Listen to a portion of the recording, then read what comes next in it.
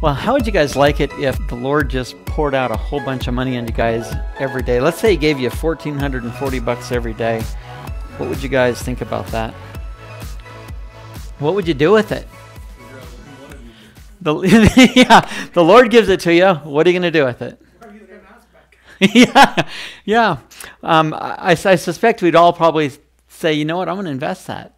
Uh, if the Lord's giving it to me, you know, we know the parable of the talents, for example. He, he's giving it to you because he expects a return on it. He wants something from you. Uh, he's not going to want you to bury it uh, and come back at the end and say, I want my 1440 for every day that I gave you that money. You know, he's going to want a return on his investment. God's very clear about that in Scripture. He expects a return. Um, how many do you think that you'd be saying, ah, you know, it's the Lord's money. It's it's not all that important. I'll go ahead and you know toss a little bit of it. Everyone's heard that expression that time is money, right? Well, I thought about that. I was going to use that, and I thought, well, is that worldly or is that a biblical thing? And I realized that uh, it really is a biblical concept. That parable of the talents. Uh, the master says you should have at least put it in the bank so I would have drawn interest so that when I return I could collect my money back with interest. So uh, that time does equate to money rather than burying it where the time is worthless. You know, so I believe that uh, time is money, and therefore the context of my message today. Um, and none of us would probably want to, you know, take that and, and put it down the drain. So here's what the Lord put on my heart today is to talk about our time. Uh, our time is very, very valuable. It is probably the most precious gift that there is because even the richest person on the planet, I don't care who you are, you can't buy any more time. It is a gift from God. It cannot ever be reclaimed or taken back. Um, what you have is what you have, and how we use it is how we use it. And when that minute, that moment, that hour, that day, that week is spent, it is gone for all eternity. You will never get it back. And the interesting thing is that we will all be held accountable one day for every single thing. You know, the word says that we'll be held accountable for every idle word. Just words that we say um, doesn't even mean it's a bad thing. Just an idle word, and a word that doesn't build up, that doesn't edify, that doesn't exhort people, that doesn't build the kingdom. Those are idle words, things that we speak that don't bear fruit. God says we'll be held accountable. So if we're going to be held accountable just for the idle words that we speak, how much more will He hold us accountable for the idle time that we, I guess we can call it investing or wasting, uh, which is what this picture is right here. So I gave everyone a pad and a pen. The purpose of these pads and pens is not for you to write down what I say. It is for you to write down what you're hearing the Lord speak to today. And I believe if you've come here wanting to hear a word from the Lord today, you will indeed hear. But will you be brave enough to write down what He puts on your heart? And that's going to be a hard thing, and I'm not kidding. Because we're going to talk about how we spend our time, uh, how God sees our time, how He values our time, and what we're supposed to be doing in our lives knowing that one day we're going to be accountable for every single minute of our lives that we've we've had. Whatever's happened from this point forward or from this point backward, we can't we can't do anything about it. But God is constantly calling each and every one of us higher and higher and higher. And today I'm going to tell you if your heart is in a good place and you're saying, you know what, I'm submitted and surrendered to you, Lord, I believe He'll speak some things to you that should be life changing today. As we go through this this time together, He's going to put things in your heart, uh, specifically things that you're engaging in, activities that you're engaging in. It could be once a week, once a month, once a year, you know, once once an hour, whatever. That He's going to speak to you. It isn't going to come from me. It's going to come from Him. That you need to say, "Am I truly investing?" my time wisely in the kingdom of God, knowing I'm going to stand before Him and be accountable for that. Is this activity that I'm engaged in kingdom building? Is it edifying? Is it glorifying? And if we can't place it as a kingdom building activity, uh, we need to take that back to the Lord and say, Lord, is this really from you or is this really from me? We've all come out of the world, every single one of us. And I think we all recognize, even from the story of the Israelites coming out of Egypt, you can take the Egypt or the Israelites out of Egypt, but you can't get Egypt out of the Israelites, and we're we're no different. You know, we've been on a journey ever since we've we've come out of our Egypts. that we're constantly finding things within us that are remnants and residual of our life in Egypt. And every activity is not a bad or what we would consider an evil one. It's easy to look at the, you know, adultery or fornication or stealing. It's easy to find some things as, I got to get that out of my life. You know, let's cut these things out. But how many things are still left within us that are not building the kingdom of God, that are not going to be glorifying to Yeshua, and they aren't now and they will never be. He wants more from us. You know, he asked, or the expectation is he wants to see fruit in every season of our life, in and out of season, we're to be bearing fruit. So today is a grand pruning process led by the Holy Spirit, because I'm not going to ask to see your list. I, I, I don't care what's on your list. That's between you and the Lord but you need to be honest with yourself. And you may think right off the bat, "Oh, the Lord's putting something in my heart." Well, that's that can't be from the Lord. I'm not going to write it down because the underlying motivation is I'm not going to give that up.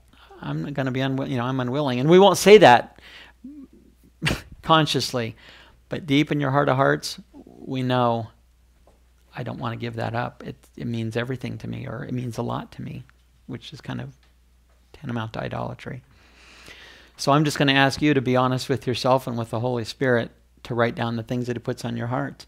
Uh, it could be starting right here, right now, this minute. It could be towards the end. It could be at any point. But again, I'm not going to look at the list. I'm not interested what's on your list. I'm interested in trying to convey the word that God put on my heart to share with you today so that each and every one of us will be motivated to really assess the lives that we're living, the things that we're doing, the things that we're not doing, that are truly a waste of our time, of God's time. And in the end, I think we should all know this anything that we're doing that is not kingdom building, that is not glorifying to God, will never truly satisfy in our hearts. You know, it will never meet the needs that we think. And that's the delusion of Satan. We have so many activities that we think, oh, this is relaxing, this is resting, you know. And I'm going to do my very best not to mention anything because it could appear that I'm saying this particular thing is evil. And I don't want to do that. But it's easy to justify so many things as saying, man, I can build the kingdom of God through this thing right here. Um, and it's very true. But if you're engaged in it to an extent that it's all about you, and, and you you know that by the by the Holy Spirit, you can know. And I'm gonna I'll pick out one thing because I'm not engaged in it, and I don't think many people here are to the wrong extent. Of course, I wouldn't know because I'm not engaged in it. But it's an example I heard just last night social media. Social media can be used to bring the gospel to the four corners of the globe like, like no way we've ever had in the past. And at the same time, social media can consume your lives. You can be so engrossed in it, immersed in it, and involved in it uh, that you are utterly wasting your time. You're wasting other people's time reading the things that you're writing down you know, I know I've talked to younger folks like my daughter, you know, she, well, younger, she, she's 30 something now. But she would say, you know, people would send a, a, text or a this or a that saying, you know, selfies of, hey, I'm having a McDonald's burger now. You know, it's like, well, that's great. You know, it's all about me. But, um, and that's kind of an extreme example. But the point is, as you're assessing examples that the Lord are not examples, but the things that the Lord's putting on your heart, don't be quick to justify, well, that's good. I can build the kingdom of God with it. If the Lord has put it on your heart to write it down, write it down. Because later, we're actually going to go through, you know, not list item by item, you will, through the power of the Spirit, to determine yes, this is totally of God. It's totally kingdom building. So you may scratch some of the things off. So, uh, in the, under the guise of brainstorming, which is where you write everything down, be very, very, very open to what the Spirit may be saying to you. Don't hesitate to write something down. Because if the Lord reveals to you, yes, this is totally of me, it's originated by and from me, and I want you engaged in this, uh, because it is a kingdom building activity. It's and kingdom building, by the way, can be just anything: taking a nap, going to sleep.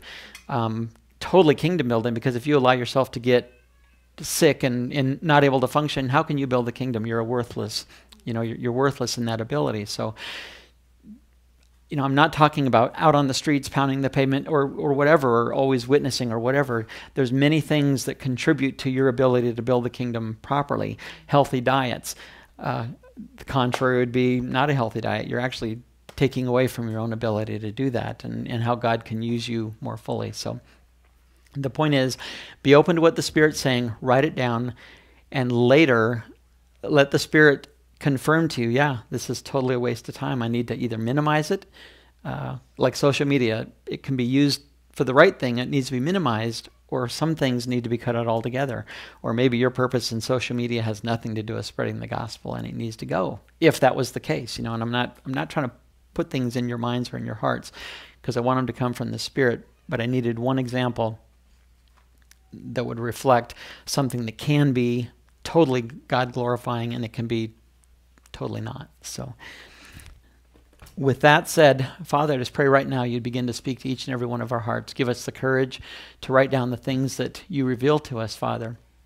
May we not try to qualify it right off the bat. May we just write it down and trust that you will ultimately show us if that is originated from you, if it's originated above the line and originated from heaven, or if it's a residual thing that we have carried with us out of Egypt, or uh, it's something that is brought brought upon us uh, by friends, family, whatever. But it's it's a flesh originated activity.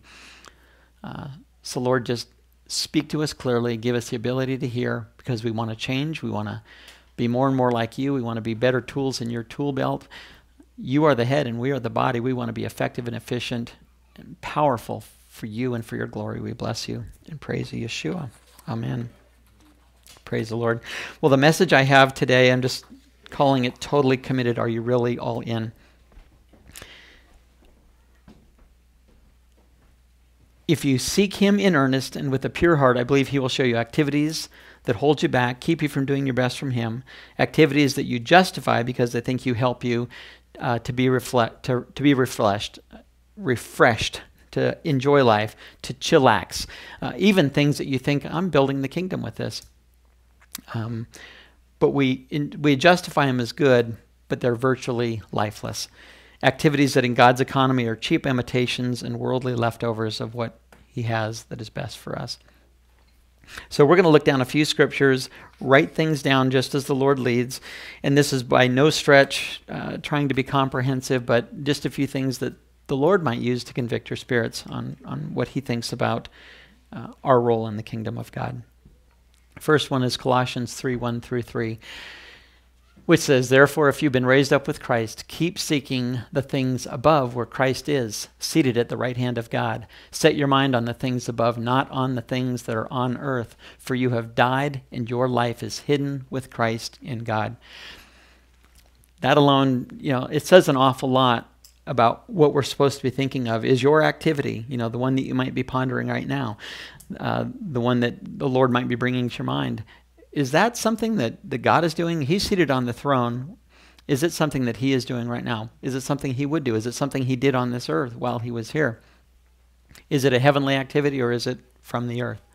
And again, I'll use examples like sleeping. We know they don't sleep in heaven because of a glorified body.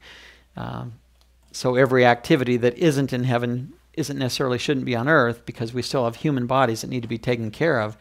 But outside of that, the Spirit can convict you and show you what is a heavenly activity and what is simply something that we enjoy doing or are doing. Next one is Romans 8 5 through 8. For those who are according to the flesh set their minds on the things of the flesh, but those who are according to the Spirit, the things of the Spirit. For the mind set on the flesh is death, but the mind set on the spirit is life and peace. Because the mind set on the flesh is hostile towards God, for it does not subject itself to the law of God, for it is not even able to do so. And those who are in the flesh cannot please God. And I mentioned earlier that we have a lot of imitation activities, and I've found a bunch, even in preparing for this message, that feel that I can justify as, man, that's refreshing. It's relaxing. I just, oh, I need to get in my chair and do this activity, you know? But I know in the end, it truly doesn't satisfy. It truly, truly doesn't. It's a cheap imitation that Satan has sold to me, you know, in some of my activities.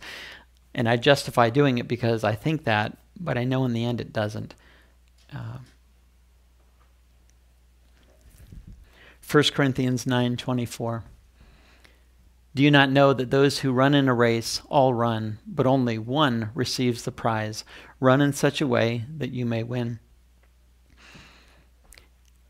we're kind of at the, the close of the Olympics or the end. I, I, haven't even been watching them. You know, it's not something the Lord's put on my heart to do or if I had the time to do. But take that as an analogy. You know, th- this is what Paul's was. Paul talks about running the race, and uh, wouldn't be surprised if being in Rome, you know, this actually was the Olympics. You know, who knows? But honestly, just just ask yourself this question. If you've watched the Olympics before, and I think we've all watched races and whatever activities in the Olympics, when that gun goes off, what do you think is going through the mind of the person who's running that race? Do you think they have any distractions whatsoever? Is there anything that they're engaged in? Um, anything. And I, am not trying to put this on you because it's for me, Paul's analogy is we're supposed to look at our lives as if we are running a race. And do you think they're thinking, man, I hope I get that bronze today? I hope I place. I hope I just, you know, I hope I just finish the race. I hope I make it across the finish line. I can guarantee you not one of them is thinking, I hope I make it across the finish line today. Every single one, I hope, and I believe, has got one thing in mind them standing on the tallest podium receiving the gold. That's what we're supposed to run for. Their minds are not distracted in any way, shape, or form by anything. They have one sole vision, one sole focus. That's the goal. Win the gold. That's what Paul says our lives are supposed to be like. Everything that we do, everything that we're engaged in, should be with that single focus in mind. I talked to, uh, probably several months ago about Eliezer. He's an awesome example, and all of our servants are awesome examples. But taking Eliezer again as an example of a servant, he comes out, he prays at the well before his prayer is even finished. Rebecca comes out, determines that she's the bride, goes back. And, and I want you to just think of his single focus, focusedness compared to this runner. He says, I'm not even going to eat dinner until I have an answer from you. I will not even sit down because I'm all about the Father's business. I'm not going to get distracted. I'm hungry. I've been on a long journey. I'm dying to sit down. I'm dying to eat. But I'm not here for those things. I'm not here to please my flesh. I'm here to serve my master. I'm here to serve Father Abraham which is certainly a picture of serving God. I will not eat until I have an answer. Is it yes or is it no? He tells the whole story. They give yes. He says, Great. Uh, assumably, he, he begins eating meal. And then he says, Let's go tomorrow. Or they begin asking, Hey, can we take, you know, 10 days or so, you know, so that she can tell her friends goodbye? You know, we need to make preparations. And he says, No, please. Because in, in this uh, culture, you couldn't go until you were released by the guest of the house. You had to stay. So he's pleading, please, please don't keep me here. Please let me go first thing in the morning because I want to, I'm done with my task. I would like to take her back. So please release me. How easy could it have been for him to justify, oh man, I got the bride. I accomplished the will. Woo, good work. Thank you, Lord. All glory to God yeah, let's chill out a little bit. Let's relax. Let's have some good fun and let's let's have a party for her, a sending away party. You could have justified every one of those things, but are they kingdom building? No. Is it going to accomplish the goal? No. It's just it's add-ons. It's fluff. His, he wanted to be immediately gone, first thing in the morning, back to his master because he had completed the task. Because the next thing in his mind, of course, is certainly knowing him What's next, Master? How can I serve you now? I've accomplished that. What's next? Give me the next task. He was not into relaxing, and I'm not saying sleep wasn't important. I'm sure he was recognizing needed rest. He had to do preparation, he had to make sure the animals were ready. But he was all about the Master's business, 100% single focused and dedicated. That is who we're supposed to be because we can justify so many things, and yet the examples that we're given in Scripture, we don't justify. We serve our King single focused, and that is it. Do you not know that I am to be about my Father's business? You know, Yeshua from age 12. I can't imagine that he did anything in his life that was outside of his father's business. Every activity he engaged in from age 12 was single minded, single focused, and diligent towards building the household of God. And I know we might be thinking in our natural minds, man, if I give up all this stuff, where's the fun going to be? You know, where's the joy going to be? Where's the relaxing going to be? Those are lies from Satan. I just curse them all right now do not let the enemy sow those things into your heads that, oh, I'm giving up everything. Even if you were, are you not called to give up everything? When we all said yes, we said, I surrender all, everything. And if you didn't, then maybe you should rethink is this really the path that you want to go? Because if you're truly a disciple of Yeshua, you said, I will give up everything. I won't go back and, and bury the dead. I won't go back and uh, you know, make arrangements. I will follow you right now, right this minute, with whatever I've got with me. I'm, or don't. I'm following you. That's that's the example we have from even the disciples. They were called to leave immediately. Come, follow me. We don't go back. We don't do anything. We follow and we stay focused, and that's it. And I believe, just from my experience, there's more joy, more fulfillment in carrying out what God has called us to do than any of the imitations we will ever find, any of the things that we've justified doing. When we get that garbage out of our lives, we will find more fulfillment than we've ever experienced, that we've ever had previous. And I know that it sounds strange, but you know, here's that goofy expression God's kingdom is an upside down kingdom. Things that look like work and diligence and focus and all that. It's going to be so rewarding, so fulfilling that we won't look back. Once you've tasted and seen that He is good, you'll never taste for the things of the world ever, ever, ever again. But engage, fully engage, fully commit to the ways and the things of God. Galatians 6 7 through 9 says, Do not be deceived. God is not mocked. For whatever a man sows, this he will also reap. For the one who sows to his flesh will from the flesh reap corruption, but the one who sows to the Spirit will from the Spirit reap eternal life. If your activity, and, and believe me, I'm not I'm not here pointing fingers. I don't even know what you may or may not be engaged in because I'm I'm doing this myself. This is what I'm doing in my life right now. I'm assessing everything that I'm engaged in. But if it's being sown to the flesh, flesh, I'm going to reap corruption, and I've seen that, and I've you know, I've had all kinds of struggles. I think we all have all kinds of struggles. But the more I get out of the world, the less corruption I see in my flesh. And I'm just, I want us all to reap the things of the Spirit and not corruption, not reap the things of the flesh. All it does is tear us down. We walk in guilt and shame and things that we're never intended to walk in. Let us not lose heart in doing good, for in due time we will reap if we do not grow weary. I love that. God's word is true. It's 100% true. Philippians 8, I'm sorry, 3:14 through 15. I press on toward the goal for the prize of the upward call of God in Christ Jesus. Let us therefore, as many as are perfect, have this attitude, and if anything you have a different attitude, God will reveal that to you also. And I included a translation in the message because it was just, I liked it. It says, I'm off and running and I'm not turning back, you know, like the runner running the race. So let's keep focus on that goal. We want to win the gold. Those of us who want everything God has for us. If any of you have something else in mind, something less than total commitment, God will clear your blurred vision. You'll see it yet. We simply need to come alongside what God is wanting to do in our lives. You know, He is sure to complete the good work He began in us. But how much longer do you want to endure hardships and pain and trials and struggles and trials? Uh, the quicker we allow the Spirit to unload this stuff which He wants to do, and I believe that strongly is what He's wanting to do today and will do if we simply submit and surrender today. Because if you don't do it today, you'll do it next year, two years, five years, and you'll have all the trauma and drama and garbage in between that He never intended us to have. But total commitment is what the Lord has asked and is asking. So ask the Spirit, what activities are you hindering in?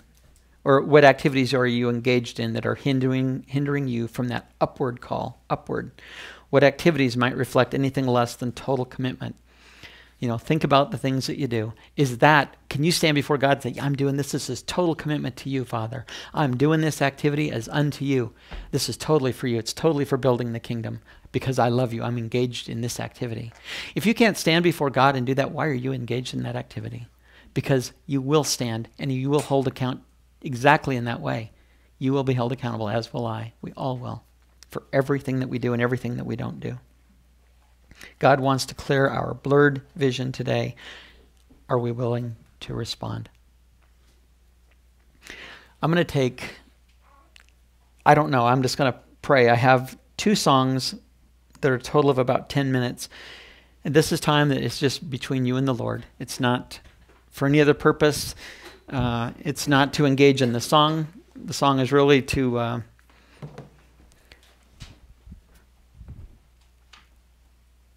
enable you to hear from the Spirit. And maybe everyone doesn't work that way. I do. Sometimes when I hear music, I can really, really connect with the Lord. So we're going to take some time, allow the Spirit to speak to you, and just write as the as the Lord leads. Like I said, don't try to qualify it. If it's questionable, write it down. You can always scratch it off and say, "Yeah, this is totally for God. This is totally kingdom building," and He will show that to you. We don't need to be in fear. You know, fear is not of God. Write it down and trust that God will speak to us.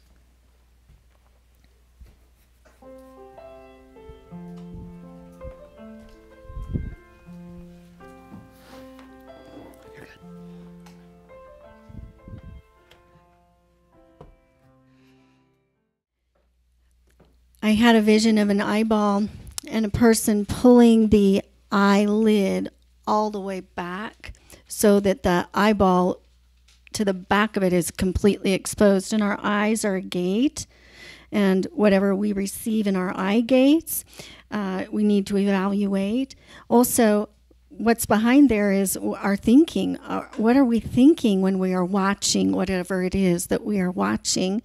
And that we're to take every thought captive into the obedience of Christ. And it's really analyzing our thoughts and our motives and, and our the gates that we are receiving things in um, and to have it come into the obedience of Christ. I don't know about you guys, I could probably go all day. with the things the Lord is sharing with me and uh, tremendous conviction in some things. You know, like I said earlier, it's easy to identify the things we say that are sinful, yet wasting the time, you know, our precious, precious time on doing things that don't appear to be evil or bad. There's no justification for it still, so. as we go on through the next part of this, you know, continue to write. If the Lord puts something on your mind, write it down. You know, this, and it, the list may continue for days, weeks, and months. You know, always we want to be evaluating what we're doing. But um, what I want to do now is read some different scriptures and begin to compare the things on your list with what you understand the Spirit speaking to you th through the scriptures that we're going to read. If you feel, yep, the Lord is saying, this is totally of me, I, I originated this, I want you engaged in this, keep right on doing that, then praise God. You can just scratch that off your list. But if you're feeling total conviction, you know, circle it, highlight it, put a star by it, whatever, and realize I, I got to get rid of that. And there are other things, you know, like the example I gave earlier, social media. Some of it might not necessarily be I need to get rid of it, but I got to reel it in. I'm I'm abusing this thing that can be good, uh, but I'm I'm abusing it for flesh or for my own purposes or whatever, you know. Or I've believed a lie of the enemy about this activity that it's a good one and and it's not. First one is Ephesians 5 1, it says, Therefore be imitators of God as beloved children. So just compare what's on your list, you know, mentally with what the Spirit reveals in your heart. And ask yourself, does God engage in your activity? We're to be imitators of Him. So if He isn't doing what you're doing, you know, or what I'm doing, why are we engaged in it? If He wouldn't do it, why are we? We shouldn't be.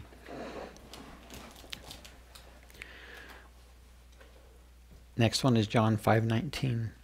Therefore Yeshua answered and was saying to them, Truly, truly, I say to you, the Son can do nothing of himself unless it is something he sees the Father doing. For whatever the Father does, these things the Son also does in like manner. So Yeshua, who we're supposed to be an imitator of, he only did what he saw the Father doing. That's it. If he didn't see the Father do it, he wasn't engaged in it. Um, has the Father revealed to you that he engages in what he's doing? Remember uh, the Lord's Prayer on earth as it is in heaven. Is your activity being engaged on in heaven by anyone at any time? If it is, praise God. If it's not, again ask, why are you engaging in it? Colossians 1.10 says that so that you will walk in a manner worthy of the Lord to please him in all respects, bearing fruit in every good work and increasing in the knowledge of God. Does your activity bear fruit? Is it a good work? Does it enable you to increase in the knowledge of God? Is it pleasing to Him in every respect? If it isn't pleasing to Him in every respect, get rid of it. You know, anyone that has pruned trees and bushes and shrubs, we at times prune healthy living branches. So sometimes the things that we prune aren't necessarily totally dead. Sometimes we prune things that aren't as fruitful as they could be. And the way to be most fruitful is sometimes prune some things that are, it's not horrible, but you know what? If I got rid of these, all the energy of those roots and the, the nutrients are going to go to the few that's out there and they're going to be highly fruitful and highly productive. So just ask the Lord. I'm not trying to get you to think one way or the other, um, but it needs to please Him in all respects. If part of it is pleasing, ask Him about it. Lord, is this something I should continue to do? I think I think you like part of what I'm doing, but if it isn't all pleasing to Him, this might be something that needs to be pruned because there is a different activity that can be fully pleasing to Him. And it could be something you're already doing with that you could invest more time into that or a different activity. You know, the, the Spirit will lead us. Galatians 2:20 I have been crucified with Christ and it is no longer I who live but Christ lives in me. And the life which I now live in the flesh I live by faith in the son of God who loved me and gave himself up for me. Is Yeshua leading your activity or did it originate in your flesh? And just ask you know you don't need to ask me and don't ask yourself ask the Lord. Say Lord did this activity begin with you? Did it begin in heaven? Did it begin above the line? Did it begin with your initiation?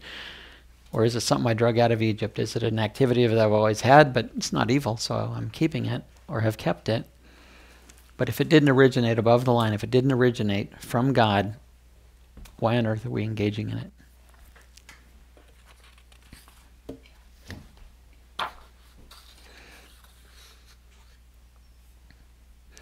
And I have one last verse.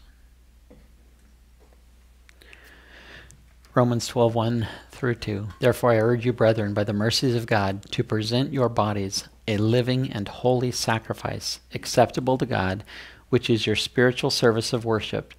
And do not be conformed to this world, but be transformed by the renewing of your mind, so that you may prove what the will of God is, that which is good and acceptable and perfect. If it isn't good, acceptable, and perfect, we shouldn't be engaged in it. We are to be offering sacrifices. Our life is to be a sacrifice. That means we die to the flesh. In fact, we're already dead to the flesh, but are we walking that out? Our life should reflect one who has died to all things fleshly, every single thing. We are to be engaged in worship, spiritual service of worship, not conformed to this world. And that's just something else you can do. Does the world engage in my activity? And am I doing it for the same reason as the world? That should be a real quick, easy one. You know, the more we look like the world, the less we look like Yeshua. We're called to be a called out, set apart, sanctified, holy, distinct people that does not look like the world. Yeshua didn't look like the world in any way, shape, or form. I don't believe there are any activities he engaged in that look like the world with the exception of he ate, he slept, you know, he, he took care of himself. But that's obviously a, a need spiritually and the kingdom purpose. We need to take care of ourselves.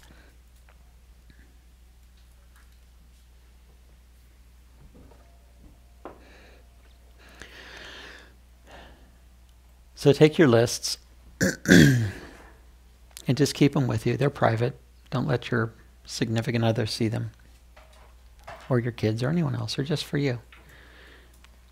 And continue to seek the Lord, you know. Conviction doesn't come all at once. It's something that happens over time, and you may be released to engage in some of those things, and you may be convicted that, no, this isn't from God.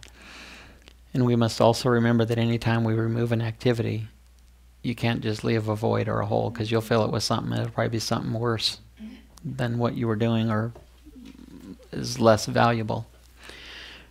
Ask the Lord, what am I to do with this time that I've freed up in my life? How am I to engage you? How am I to seek first the kingdom of God? Because that's all we have to do seek first the kingdom. Everything else will fall in place once we do that. But ask Him, Lord, I've freed up some time in my life because I'm getting rid of these things.